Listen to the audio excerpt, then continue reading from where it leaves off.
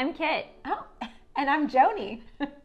and we are the co founders of Practically Perfect. Today, we are going to be showing you how to fold socks. This is part of our larger folding series, and today we're focusing on those fun little pieces of fabric that hug our feet every day.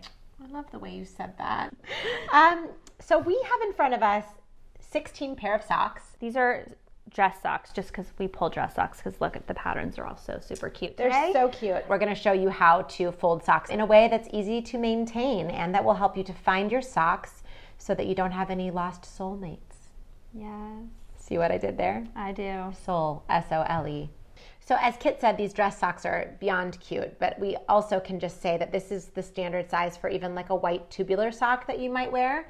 And after we show you how to fold these ones, we will also show you how to fold a shorter athletic sock, mm-hmm. as well as a no show sock, which is my preferred sock of choice, and an extra long sock.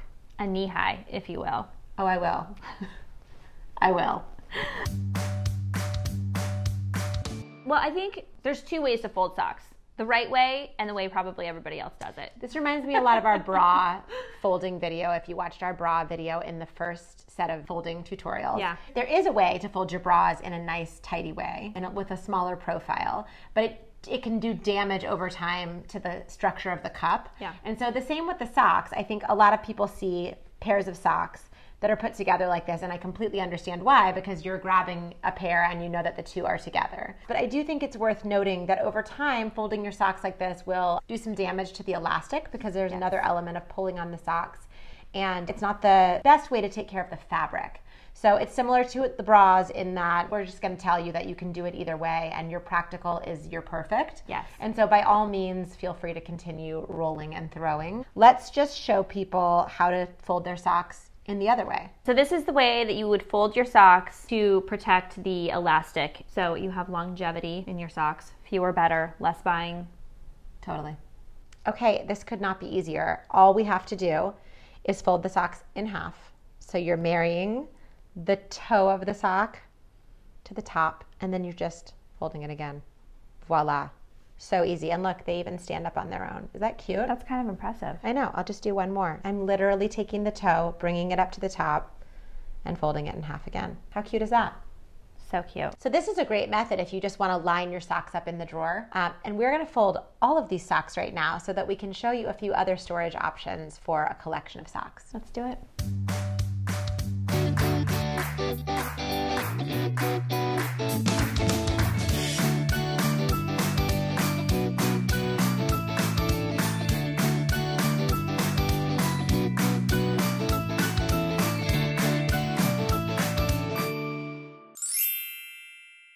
Okay, so we folded all the socks, and I think there's a couple different kinds of socks that we'd like to show you how to fold. Athletic socks, no show, knee high. I'm gonna grab them. You know, I think we should start with the knee high because it's so similar. It's the same method of folding. a lot of extra fabric. Those might be a thigh high. They're not, I'm not that short. Thank you so much. So really it's the same method as a standard sock. It's just that you have more fabric. So we're just going to fold in half. We're going to fold in half again, depending on That's your... it. You, no, I don't, nope, oh, oh. Oh, it's a no. It's- I- it's then fighting you. I can see it. Then I might go in thirds with this mm. one. And I think this is just kind of trial and error as you fold, is to figure out do I need a half, do I need a third? I'm liking that a lot in a half and then a third. What do you think though? You seemed really to have big feelings about it. I don't respect elastic, so I'm a roller.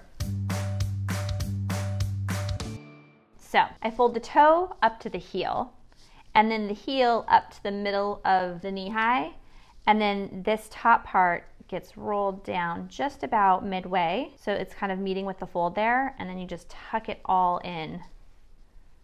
And for whom might this be the most practical way? For me, obviously.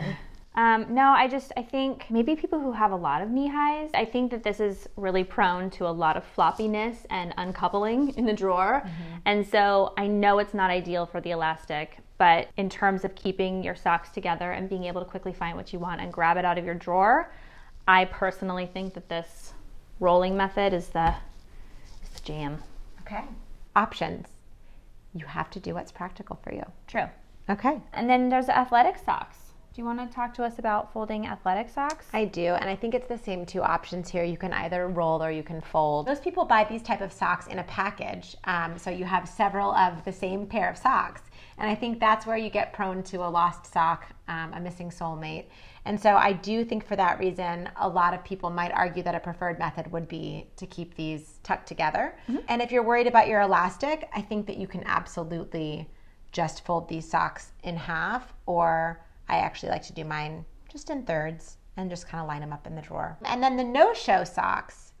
These ones are always frustrating. These are actually my personal favorite type of socks. My heel. This is not new. And these socks are not, not friends. This is not a new conversation. And it's really frustrating. I like the look of a no show sock. You like the non look of a no show sock? Yes. Okay. These little socks, I like to just tuck one into the other. And so there's a little grippy on the back of the heel, and I make sure that I marry those together so that they're facing the right direction. And then I literally just tuck one into the other. I always think it looks like a little boat. And then I kind of just use my fingers to make sure they're placed thoughtfully. And then otherwise, if you don't like that idea, you can you can fold it in half. No show socks by Joni. Um, okay, so we've shown you how to fold all the various socks. Um, I will mention that we have used this drawer insert mm-hmm. to organize our socks. I don't use this specific one in my drawer, but I know you do. I do.